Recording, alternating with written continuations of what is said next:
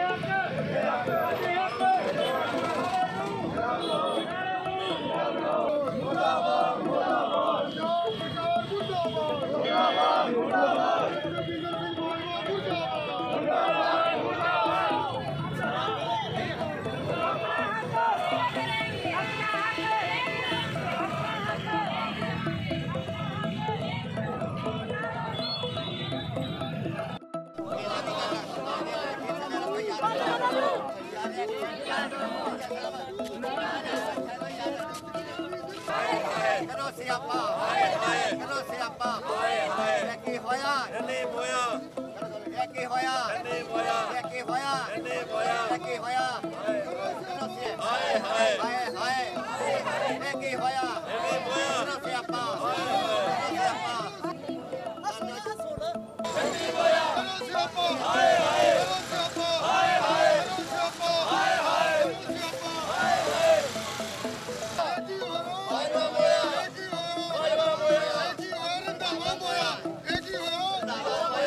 어필해요.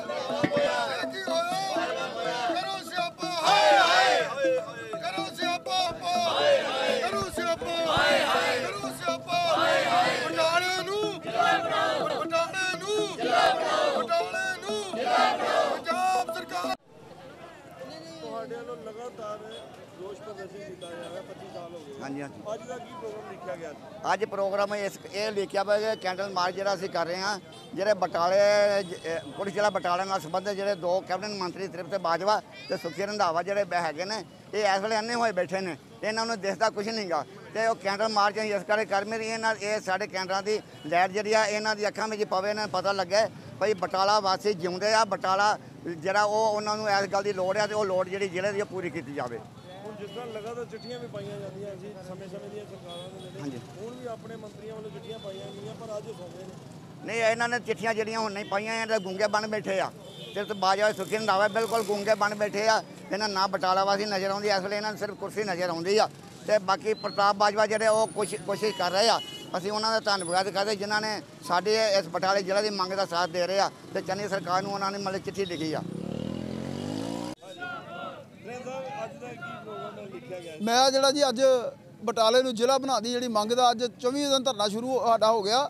ਅੱਜ ਜਿਹੜੀ ਬਟਾਲਾ ਦੀ ਮੰਗ ਨੂੰ ਜ਼ਿਲ੍ਹਾ ਬਣਾਉਣ ਦੀ ਮੰਗ ਨੂੰ ਲੈ ਕੇ ਆਪਾਂ ਕੈਂਡਲ ਮਾਰਚ ਰੱਖਿਆ ਸੀ।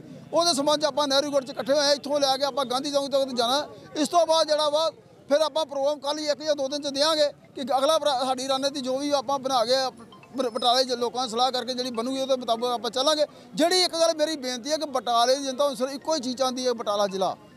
ਇਹ ਜ਼ਿਲ੍ਹਾ ਬਣੂਗਾ, ਹਰ ਬਣੂਗਾ, ਜੇ ਨਹੀਂ ਬਣਾਉਣਗੇ, ਇਹਨਾਂ ਲੋਕਾਂ ਦਾ, ਇਹਨਾਂ ਲੀਡਰਾਂ ਦਾ ਜਿਨਾ ਆਰਾਮ ਕਰਦੇ ਸਾਨੂੰ ਭਾਵੇਂ ਜੇਲ੍ਹਾਂ 'ਚ ਧੱਕ ਸਾਨੂੰ ਜੋ ਮਰਜ਼ੀ ਕਰਨ। ਆਪਾਂ ਹਰ ਤਰ੍ਹਾਂ ਨਾਲ ਤਿਆਰ ਜੇ, ਪਰ ਲੇਕਿਨ ਬਟਾਲਾ ਜ਼ਿਲ੍ਹਾ ਜ਼ਰੂਰ ਬਣਾ ਕੇ ਲੈਣਾ ਜੇ। ਬਾਕੀ ਗੱਲ ਕਿ 70 ਸਾਲ ਤੋਂ ਬਟਾਲੇ ਦੀ ਜਨਤਾ ਨਾਲ ਧੱਕਾ ਹੋ ਰਿਹਾ, ਜਿਹੜਾ ਕਿਸੇ ਵੀ ਕੀਮਤ ਤੋਂ ਬਰਦਾਸ਼ਤ ਤੋਂ ਬਾਹਰ ਰਿਹਾ। ਲਗਾਤਾਰ ਪ੍ਰਦਰਸ਼ਨ ਕੀਤੇ ਜਾ ਰਹੇ ਤੁਹਾਡੇ ਨੂੰ ਇਹ ਲੰਬਾ ਸਫ਼ਰ ਹੋ ਗਿਆ 25 ਸਾਲ ਦਾ ਇੱਕ ਤੁਹਾਡੇ ਪ੍ਰਧਾਨ ਨੂੰ ਤੁਹਾਡੇ ਭਾਈਵਾਲ ਨੂੰ ਹੋ ਗਿਆ। ਮੈਂ ਵੀ ਨਾਲ ਸੀ।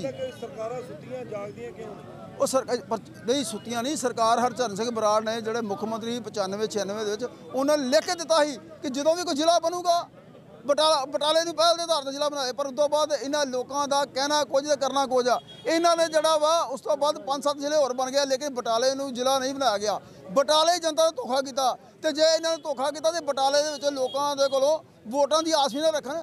ਬਟਾਲੇ ਜੁੱਤੀ ਆ ਲੋਕ ਜਿਹੜੇ ਇਸ ਟਾਈਮ ਜੁੱਤੀਆਂ ਲੈ ਕੇ ਇਹਨਾਂ ਦੇ ਸਵਾਗਤ ਲਈ ਬੈਠੇ ਪਤਾ ਨਹੀਂ ਕਿਦਨ ਵੱਜ ਅੱਜ ਵੱਜਣ ਕੱਲ ਵੱਜਣ। ਤੁਹਾਡੇ ਸਾਹਮਣੇ ਵੱਜਣੀਆਂ ਜਿਹੜਾ ਟਮਾਟਰ ਵੱਜਣ, ਬਿਲਕੁਲ ਵੱਜਣਗੀਆਂ ਆਪਾਂ ਗੱਡੀਆਂ ਭੱਜਣ। ਇਹ ਕੰਮ ਹੋਊਗਾ ਇਹਨਾਂ ਲੋਕ ਲੀਡਰਾਂ ਦੇ ਨਾਲ।